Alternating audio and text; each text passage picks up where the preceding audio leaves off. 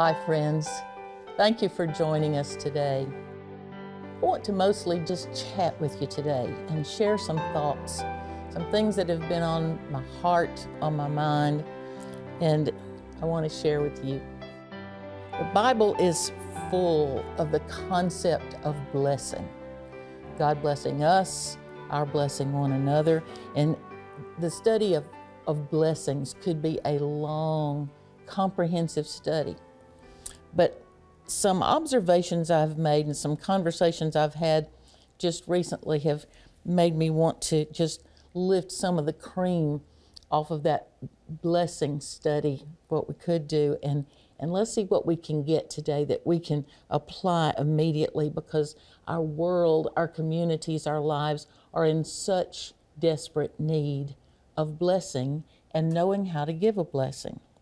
Certainly, the Lord has blessed us. And as He blesses us, He also commands us to bless one another. Now, that's just one of those things that's kind of sitting on the shelf, and we kind of know that, and we do little things and, and think that that's all right. But, but there's some very specific things, some very necessary things about giving a blessing that we need in our society, we need in our community, we need in our churches. So, the source of all blessing is God Himself. He is the source of all blessing. The blessing of God is never merited by us. He doesn't give us blessings because we deserve it. He gives us blessings because He is a gracious God who wants to give blessings. Our blessings are not just for our benefit, but He gives us blessings so that we might bless others. So let's just first of all say we are blessed to bless. He blesses us, and then we bless. So God's blessings initiate this chain reaction of blessings. So the one who is blessed becomes a channel of blessing to other people. Ultimately, the blessing returns to God who gave it. And when we thank Him and praise Him and give Him the credit He deserves, which is glorifying Him, then the circle of blessing is complete. So the circle is that God blesses me, I bless another person, that other person blesses God because He is the ultimate giver of the blessing, the giver of the gift. So there is vertical blessing, and then there is lateral or horizontal blessing. Our relationship with God as His children, as believers, in New Testament as born again believers, empowers us to bless other people in God's name on His behalf. It's kind of like signing His name to a check. And so we have to be careful that we use that correctly, that we use it um, with holy attitudes, with right intentions that truly reveal the mind and heart of God. But the first thing we need to do is think about blessing God. Blessing God. We've said that God is the one from whom all blessings flow. We sing the doxology, praise God from whom all blessings flow. And so, how in the world knowing who God is and knowing that He is the giver of all blessings, how in the world are we going to bless Him? How can me, little old me, how can I bless God? Blessing God is one of the strongest and most meaningful ways to worship and to praise God. It is the very purpose for which we were created. God created us to praise Him, to worship Him, to have that kind of relationship with Him, that personal relationship with Him that bows before Him, that receives from Him, that gives to others, and then gives all the praise and the glory back to Him. So the God who blesses with every blessing is Himself blessed by praise. Praise is like applauding Him, it's like identifying what He's done, it's thanking Him for it. Now, the word blessing means good word. Good word. Now, we can say good words to God and about God all throughout the day. Maybe things come to your mind all the time. It's a mindset that focuses on God and His goodness and His power to do good. So we develop this God consciousness. That's an important trait. A God consciousness that makes any moment a sacred moment because when I am conscious of Him, of who He is, and of His presence with me and in me, then in every little thing I can just say, Thank you. Praise God. Bless God. There is nothing in life that is not an opportunity to praise God to applaud him, to bow before him, because we know he is good. We know he is perfect. We know he is true and honest. We know that he is a good provider. Job, in the midst of all of the tragedies of his life, when he had lost all of his family and he had lost all of his wealth, said this Job 121 The Lord has given and the Lord has taken away. Blessed be the name of the Lord. Psalm 34 1 says, the psalmist says, I will bless the Lord at all times. His praise shall continually be in my mouth. Now, bless is synonymous with the word praise or a song of praise. And so, what the psalmist says is, you know what? I'm going to be singing songs of praise in my heart, in my mind, and even with my mouth all throughout the day. 1 Thessalonians chapter 5 and verse 16 says, Rejoice always, pray without ceasing, in everything give thanks, for this is the will of God for you in Christ Jesus. So sometimes we say thank you in obedience, even when we're not to the place of feeling thankful. Just thanking Him because He said so not in a smart aleck way, but thank you. Help me to see this from your perspective. Help me to get this. Philippians chapter 4, verse 4 says, Rejoice in the Lord always. And then you know verse 6 of Philippians chapter 4 Be anxious for nothing, but in everything, by prayer and supplication with thanksgiving, let your requests be made known unto God. And what's the promise? And the peace of God, which passes all understanding, will keep your minds and hearts in Christ Jesus. We're living in times when we need our minds kept, don't we?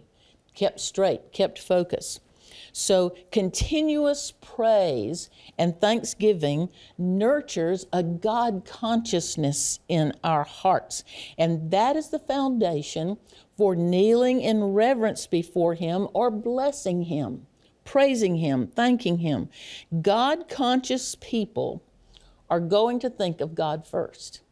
They're going to try to see things from God's perspective, and then we're going to ask Him to help us see it the way He sees it so that we'll respond to it the way He wants us to respond.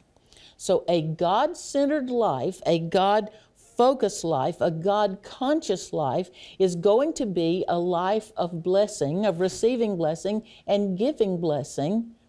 Because once we have that God consciousness, then we're going to be aware of other people. There's an awareness of others that comes with God consciousness. Um, our Jewish friends teach us that before anything else, one must first bless God. The Bible is full of it especially the Old Testament. Psalm 103, verse 1 says, Bless the Lord, O my soul, and all that is within me. Bless his holy name. Bless the Lord, O my soul. Goodness, we could read the whole psalm. But then the psalmist goes on to list his attributes, to list his benefits. Forget none of his benefits. What does he say? He pardons all of your iniquities. He heals all your diseases. He redeems your life from the pit. He crowns you with loving kindness. That is a beautiful Hebrew word. It's the word hesed. We might ought to look at that one day. But he crowns you with hesed, loving kindness and compassion. He satisfies your years with good things so that your youth is renewed like the eagle. And then he goes on and on. The Lord performs righteous deeds. And so what's he doing? He's blessing God. He is recalling to God his gratitude, but he's recalling to God what he knows about who he is. And God is blessed in that. Bless the Lord, O my soul. And then down in verse 22 of that same psalm, He says, Bless the Lord, all you works of his, in all places of his dominion. Bless the Lord, O my soul. So he's into it. He's blessing the Lord. He's calling out the things that he is, that he does. He's bowing before him. He is applauding him. Then in Psalm 104, verse 1, he says, Bless the Lord, O my soul. O Lord my God, thou art very great. Thou art clothed with splendor and majesty. So, those are the kinds of things that you can say to God. If you don't know what to say to bless Him, get you a scripture verse that blesses Him and just use that. Praying scripture back to God is an incredible thing to do, and God honors that. Then, Psalm 134.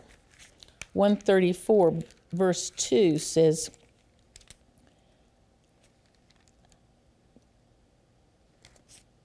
Lift up your hands to the sanctuary and bless the Lord.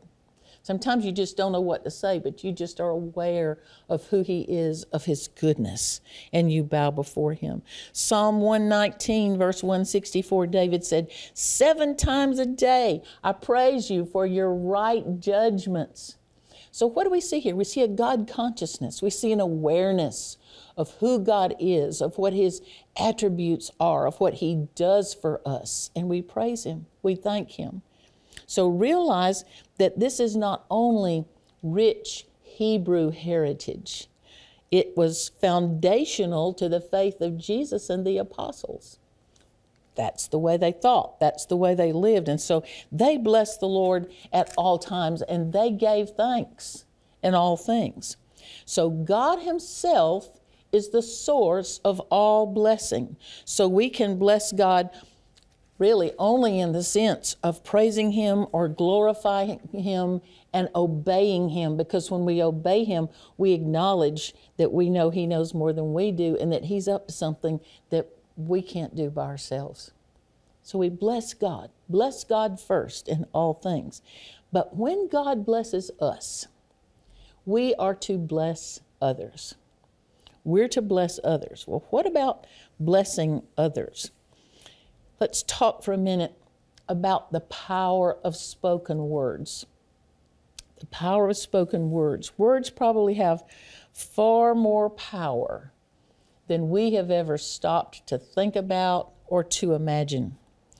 Words can be creative or they can be destructive. Words can build up or words can tear down. Proverbs 11 11 says, Through the blessing of the upright, through the blessing of the upright, a city is exalted. But by the mouth of the wicked, it is destroyed. By the mouth of the wicked is destroyed. Now, if spoken words can exalt or destroy a city, they certainly can have an impact on an individual, on another person. Proverbs chapter 12 and verse 25 says, Anxiety in the heart of a man weighs it down, but a good word makes it glad. What can we do with people who are depressed? Give them a good word. Help them think good words. Proverbs 16, verse 24 says, Pleasant words are as honeycomb, sweet to the soul and healing to the bones. Wow good words, pleasant words. In Proverbs 18:21, there's a striking statement. Think about this. Death and life are in the power of the tongue.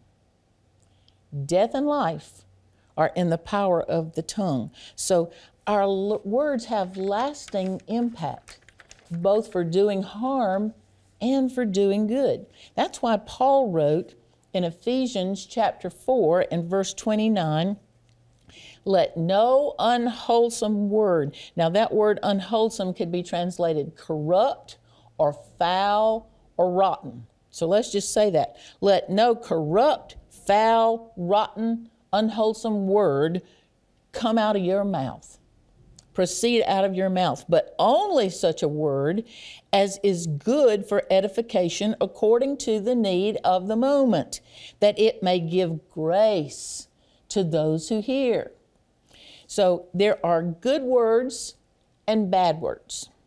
Um, there are benediction, and that word means good word, And there are bad words, maledictions. Benedictions and maledictions, but let me give you another word for that. Good words are blessings. Bad words are curses. So we've got good words, bad words, blessings, and curses. A blessing is a good word. A curse would be words that are uttered with the intention of bringing about destruction. I hope you fall off a cliff. Or, you know, wor- words that tear down, that are destructive. A curse is cruel, unkind, harsh words, bitter words. They're like judgment without mercy.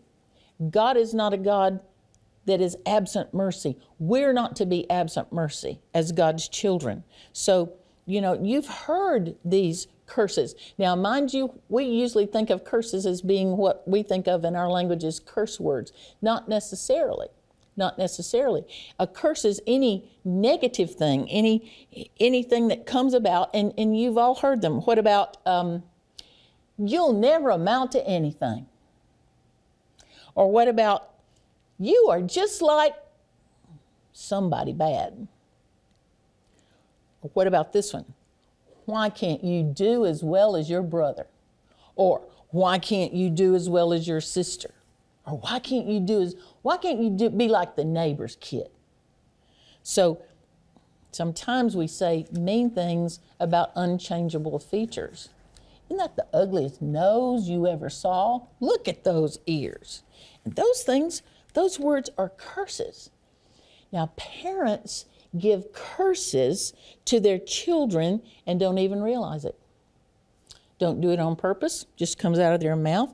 And so we're living in a noisy world that is filled with sounds of verbal put downs and insults and disrespectful, trashy talk. It's all around us. Some of these curses, we read about them, we hear about them. Some people are even trying to put deliberate curses on groups of people. Well, I've got some good and powerful news, and I want you to hear this. Get this blessings overcome curses.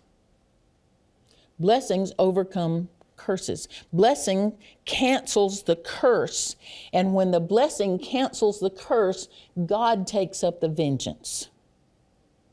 It's kind of like um, if you were bitten by a snake a poisonous snake, you would need to get some kind of medicine that would neutralize that poison so that it would be canceled, it would go out. Well, a blessing neutralizes the poison of a curse. And so we don't want to get in the mess of somebody giving us a pronouncing a curse on us and us giving them one back. I hope you fall off a cliff. Well, I hope you fall off one first. Uh uh-uh. uh. That's a curse feeding a curse. What we want to do with a curse is answer with a blessing because that is the antidote for the curse. It equalizes it. So we are not to respond to a curse with a curse. So, how do I do that? How do I give a blessing? Well, doctors John Trent and Gary Smalley have written some really good books on this subject. One is called The Blessing. And in giving a blessing, we're giving a gift of grace, a gift of unconditional love and acceptance. And so, Doctors Trent and Smalley have concluded that the giving of a blessing, as described in Scripture, always included five elements. Five elements. The first one is meaningful and appropriate touch meaningful and appropriate touch. The second one is a spoken word, a spoken message or a spoken word. We've already talked about the power of spoken words. That's the biggie, that's the best way to give a blessing. The third thing is attaching high value to the one being blessed. Attaching high value to the one being blessed. Number four, picturing a special feature for him or her. And number five, there's an active commitment to fulfill the blessing, to fulfill the blessing. Now, if you want to look at those in detail, you might get their book, The Blessing. But for now, I just want you to think about some things with me. I just we just need to chat and take some of this cream off the top. How a person views and talks to children and young people and adults for that matter has a significant effect on how that person thinks and acts. How a person views and talks to another person, especially children, has a great effect on how that person thinks and acts. Deep within every heart is the longing for approval. Every person hungers, thirsts for approval and affirmation. We need to know that we are loved and valued. We need to have that confidence that there is a place where we belong, where we are okay, where we are received. Maybe again, not because we deserve it, but we're living in grace and we're going to give it even when it's not deserved, even as God gives us blessings that we don't merit. Now, if a child does not get that from a parent or maybe a grandparent, he or she is going to look for it somewhere, some way. They're desperate for it. They're going to do whatever they need to get it. Now, we all need words of affirmation about our personhood. I don't have any children of my own, but I spent a good many years working as a speech language pathologist in a couple of clinics and in public schools.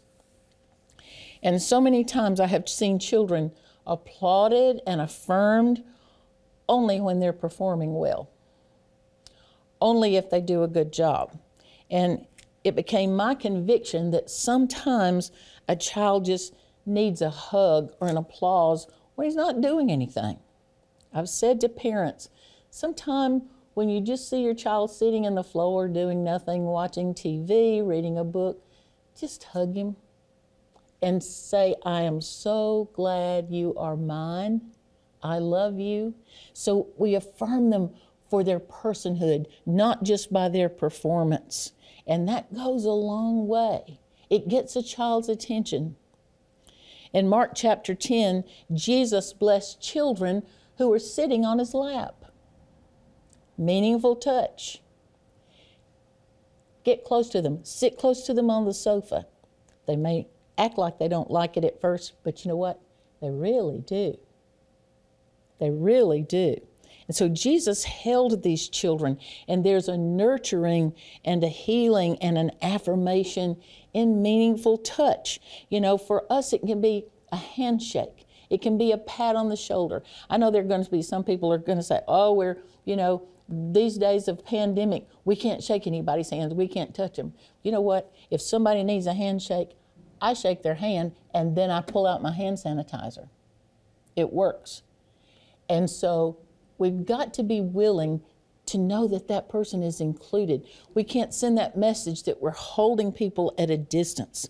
Now, we've already talked about the power of spoken words. Um, they can be words of affection. I love you. I love you. Uh, they can be words of reconciliation. I was wrong. Will you forgive me? They can be words of vision and promise when you look at somebody, especially a young person, and say, You're going to do something great one day. I look forward to seeing what you're going to do because of what I see in you. Vision, promise. You are going to make a difference in this world. Or maybe they're just words of security. Don't we all need that? You will always be mine. I'm so grateful and it was years before I didn't I knew that everybody didn't have this, but you know, certainly my parents were like other parents. They didn't do everything right, but one thing I always knew, and one thing they always told me, was that I could always come home. My daddy would say, "Don't forget your raising." But if I messed up, or whatever circumstance I found myself in, I knew that my mom or my dad, they'd come get me. they'd come get me and bring me home. I had that place, and they were always good to tell me that they loved me. All kids don't grow up like that. I know that now. I have adult friends who have shared with me my parents never told me that they loved me. I knew they did, but they never said that spoken blessing, that power of the spoken word. You know, we've got to do a better job of communicating to other. You matter. You matter to me. I value you. I see good things in you. I'm so grateful that you are a part of my life. You know, I've read some research about some of this stuff, and one of the things that I read is that some people have lined up prisoners, both adult prisoners and um, prisoners in, that, that were younger in youth detention centers, and they would line them up and say, Did anybody ever say these things to you? Did anybody ever tell you that they loved you or that you were going to do something good? And everyone said, No. No. You know, if you spend all of your time telling a child or young person that they're bad, then they're going to think that that's their identity, and guess how they're going to behave? Bad. That's what they think they're supposed to do. And so, what have you done? You have pronounced a curse that has got to be answered, that has got to be uh, neutralized with a blessing. When we see potential in somebody, we've got to be willing to speak words of value, words that point toward a future that is connected to God. God has a purpose for your life. God is going to use you. God can use you greatly. I can't wait to see how God is going to use you. I can't wait to see what God's career calling is going to be on your life. I'm going to tell you a little secret. Are you listening closely? Children are not the only ones who need this. Children need it. So do young people, adolescents, teenagers, young adults, middle aged adults, senior adults. Rich people need it. Homeless people need it. Everybody needs it. The world is full of adults walking around with scars and bad memories from childhood. I'm old enough to have talked to a lot of them. You know, maybe a teacher, do you ever see this? Maybe there was a day when a teacher held up your paper to the class as if it was muddy, had dirt on it. And they roll their eyes and said to the class, Look at this, before they handed it back to you in front of everybody.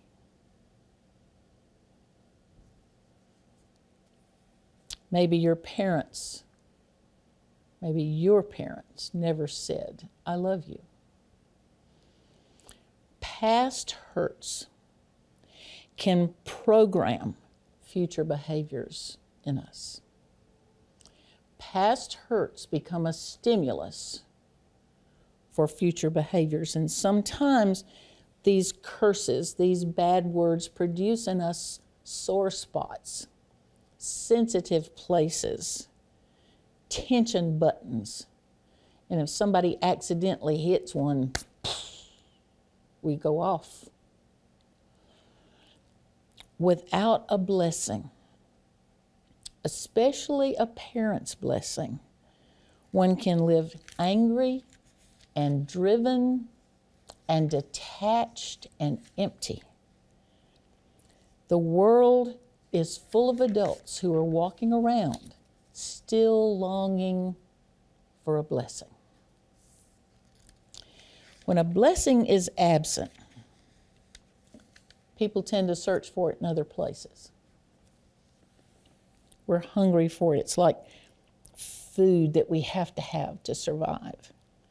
And so some people, when they don't get this, they, they work harder and harder and harder, and they're driven, and they conclude that no matter what they do, nothing is ever enough. Or they may search for acceptance in other places sexual promiscuity, gangs, cults, rioting in the street, tearing down buildings. They may withdraw into loneliness or anger. They may attack others just to be noticed, to be heard. Or sometimes people just live with the hurt, live with the longing, never feeling fulfilled and satisfied. In the beginning, I, I told you that I've had some recent conversations and observations that put this lesson on my heart. One was a conversation about a fine young man. He has a sweet wife, a good job. They are a godly, loving couple.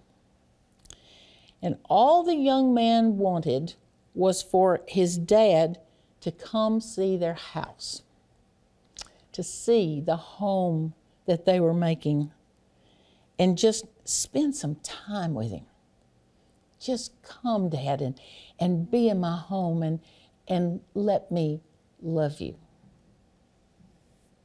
The invitation was given and a time was planned, but when the time came, once again, the dad had something else to do. And he didn't go. His adult son just sat down and cried like a baby. What do you do when you've never received a blessing? How do you get over it?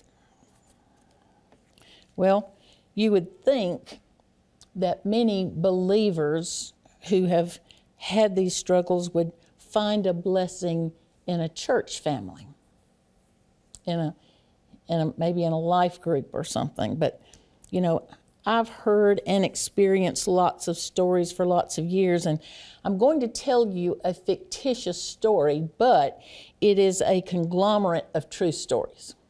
Okay? So let's think about a guy, and let's just call him Guy. The most encouraging place of fellowship that Guy knew was the bowling alley with his Wednesday night bowling league. He lived for Wednesday nights, and all those guys would eat together and fellowship together and slap each other on the back, and they would applaud when each other made a strike. And there was this closeness and camaraderie of being on a team. He had a hard home life and he had a hard job. And he really looked forward to Wednesday nights. So going to the bowling alley was a good place to get away, to be affirmed, to be valued. But after bowling, he still had to go back home and go back to work. He met a guy named Ed who was a committed Christian.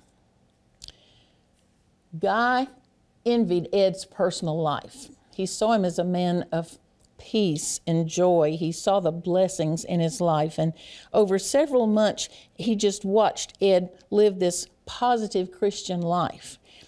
Guy was thirsty, he wanted that. And so Ed started meeting with Guy regularly, and he taught him about his need for a Savior and the new life he could have in Christ Jesus. Well, Guy gave his life to Christ and he was saved. Well, Guy and his wife began attending church, and it was a fairly large church near their home. It was a Bible believing, Bible teaching church, had a good reputation, but they never seemed to feel accepted and comfortable. The pastor was an excellent communicator, that wasn't a problem, but Guy was confused by a lack of warmth and personal relationships when the preaching was over. So they started attending Sunday school to develop some deeper friendships, but after several months, no change. Well, Ed took another job and moved away. And Guy just ached over the lack of Christian fellowship, personal relationship with other Christian men. He hungered for it. So he'd given up his Wednesday night bowling to go to church on Wednesday nights. And even when he initiated a conversation with somebody at church, it was, Hi, how are you doing? And it just became awkward because then nobody seemed to know what to say after that. Nothing to talk about. Strained and uncomfortable. Guy gave up. There were pockets of friendly people in the church, but they were friendly always to each other. Same people, week after week sat in the same place with the same people, not noticing who else was there. And after a while, Guy went back to the bowling alley.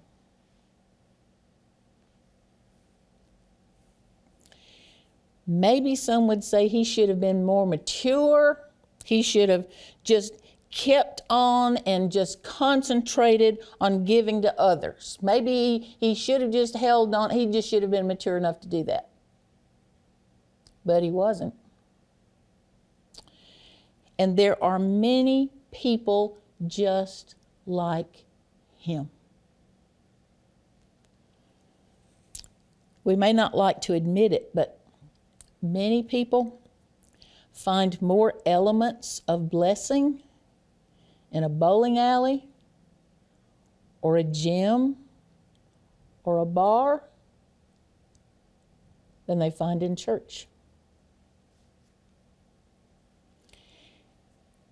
Jesus was the master of blessing. Acts chapter 10, verse 38, Peter says, He went about doing good. He brought blessing on earth in everything he did, in everything he said. It was always good. It was always helpful. It was always edifying.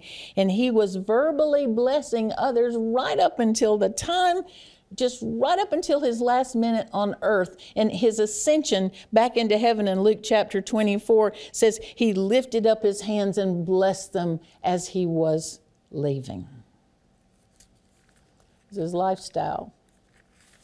It's who he was and what he did. And, and after he blessed them after his ascension, the Bible says that they who were there went back to the temple praising God. God is the one from whom all blessings flow. Jesus had passed on the blessing, and so what are they doing? They're blessing God. The circle completes itself. 1 Peter chapter 2 and verse 9 speaks strongly to my heart.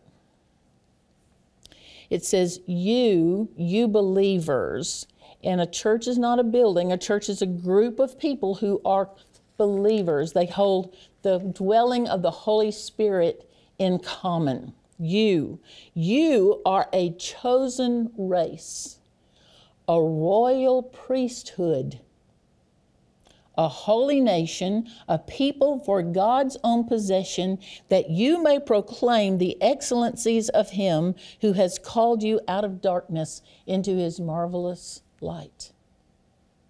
You. We are a spiritual race. Um, it's not a race in the sense of ethnicity or skin color or country of origin. We hold the Holy Spirit in common. We are a spiritual race. We share one spiritual Father. And He has called us out and set us apart from everybody else on earth. Believers are different from and empowered in a different way from everybody else on earth. And we have direct access to God. We don't need another mediator. The only mediator we need is Jesus, and He has died to make that way open to God for us. And we can go to God anytime because of Jesus. He made us. He put us here. That's what this verse says. You are a people for God's own possession, so that you may proclaim his excellencies. That's blessing God. That's blessing God. When we tell him back or when we tell others about all of his excellencies, then we're declaring his praises and we're blessing him. Christians are not better than anybody else, but we're blessed. We're blessed. And that privilege of being blessed brings the responsibility of blessing others. Now, how are we going to do that? Well, never forget this. Write this down. A blessing is more powerful than a curse. Now, sometimes our emotions get tangled up and ooh, we want to get back with it. But if we want to fix it, if we want to neutralize it, then we're going to give a blessing. We're going to give a blessing. Now, a curse means to consider someone or something as if they didn't have any value, that they weren't worth anything. So, I guess what came to me when I was studying some of this is we can give a curse by not saying anything, by just ignoring somebody. Because what message have we sent? We've sent them a message you don't matter. You don't matter. So when we brush somebody aside or ignore somebody, we've sent a message. I want to tell you something. I've become so aware of it through the years how many messages of rejection we send, not sitting down thinking, well, I'm going to send a message of rejection to you. It just happens. And you know where it happens? It happens in churches. Jesus is not like that. That's not what he does. And so it becomes even the unspoken behavior becomes a malediction instead of a benediction. And in the Old Testament, the only thing that was more powerful than a curse was a blessing. So we've got to be about the business of neutralizing that. Because we're God's people, we're the only ones that can do that. We're the only ones who can do that. Blessings are acts of faith. They're acts of faith. It is by faith that we obey the command to bless our enemies. You know, you think, bless your enemies? How dumb is that? How am I going to bless an enemy? Do what? But I'm going to bless my enemy because that is going to neutralize the poison and it frees God up to take up the vengeance. How am I going to do this? And, and, and I know all the reasons. I know, oh, Sharon, you know, I'm shy. I can't think of what to say. I don't, I don't know how to do this. I don't know how to say this. I'm tell you where you're going to start. You're going to ask the Lord to show you how. I know what it is to be shy. Most of you that know me wouldn't believe this, but I was a very shy young person. I just thought I ought not speak to anybody that didn't speak to me first. My mother used to say to me, It's okay for you to do it first. No, not my mind, it wasn't. We've got to take that initiative. It is a decision we're going to make. Now, blessing can't just be in our mind and our heart, it has got to be bestowed. You've got to do something, to say something, to respond, to bless. So ask the Lord to show you how and when to give a blessing. Ask Him for wisdom and insight and discernment and understanding of how to bless someone. Ask Him to show you what their needs are. If it's a person that's afraid, then you're going to may say something like, I'm going to pray that the Lord will bless you with His peace because there is no fear in God. There are all kinds of things you can find scriptures to bless with. And sometimes I've made a list of them. Just sit down and go through Scripture and find ways that we can speak blessings, scriptural blessings. So, you know, we've talked about the high value of spoken blessings, and sometimes we can't do that. Just sometimes we just can't. And when we can't, what else can we do? Well, there are a lot of little things I think we can do. How do you feel when someone rushes up to the grocery store door and opens it for you? Like, ah, yes, that's a blessing. So you can open the door for somebody. I don't have a problem with opening the door for a man. Maybe he's got his hands full, his hands full of groceries, a child, whatever. Open the door. Maybe you could let someone in line in front of you. You've been in that place in the grocery store where somebody in front of you've got a grocery cart this full and you've got three things. And they let you go ahead. Let, they let you go before them. That's a blessing. It's kindness. You know, speak to somebody you don't know. Bless them. You look nice today. I hope things go well for you today. Think of ways you can include people who are not usually included. Say thank you. Send cards. Make phone calls. Write notes. Be kind. Be polite. Be compassionate. Be on the lookout for thirsty people people needing that touch. And where's it coming from? It's coming from God through you. And it goes back to Him. And it frees Him up through you as a channel of blessing to do something good in that person's life. Sometimes maybe you just need to sit down and listen to somebody, just talk to them. I've seen this so true among the elderly. They need hugs. They need somebody to just take their hand. They need somebody to speak kind words to them. I talked yesterday on the phone. My mother's cousin called me. He'll be 91 in a couple of days. And he said, I don't know why I'm still here. He's sitting in an assisted living home and I said, Bob, God's not through with you yet. God uses us in ways that we don't know He's using us. Let me finish this because I want to talk to you believers for a minute. There are some things we need to do at church. We need to smile at people. We need to acknowledge, let them know that we know they're there. We need to say hello. Maybe we need to sit with somebody who's sitting alone. Maybe, maybe you need to just ask somebody, How can I pray for you? This happened to me with a lady in our class. She's probably going to watch this.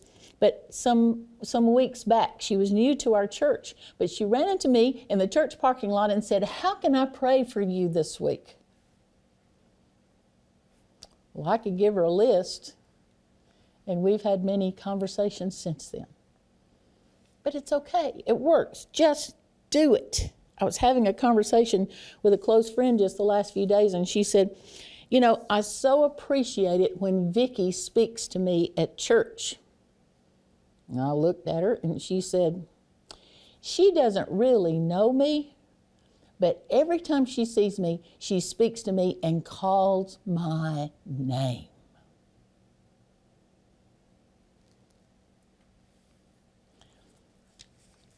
today? Would you ask the Lord to show you somebody who's thirsty? If you see a curse taking place, pray a, pray a blessing over that. If you see people on TV rioting, Lord, bless them with a knowledge of yourself. Bless them with your peace.